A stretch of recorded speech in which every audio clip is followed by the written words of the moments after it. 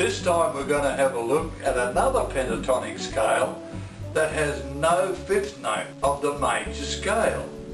Therefore, there will be no dominant seventh chord. This one ends on the Dorian.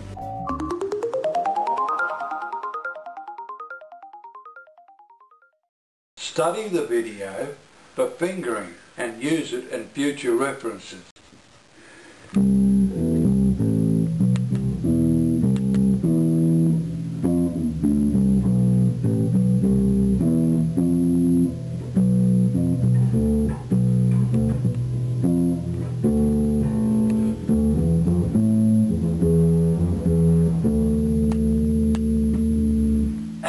That's with the Dorian ending.